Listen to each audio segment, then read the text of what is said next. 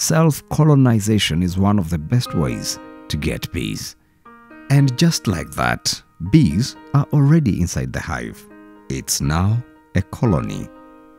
Now that we have gone through the above steps, I encourage you to practice. Let me finish with one additional tip. Avoid setting up an apiary with a lot of hives close to one another because not all will be self-colonized.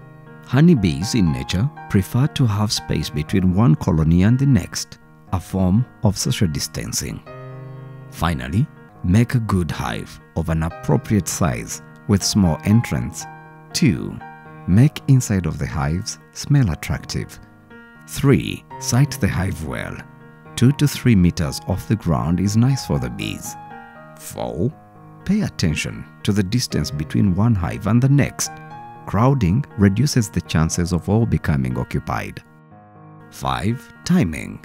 Bait and site hives during the swarming season.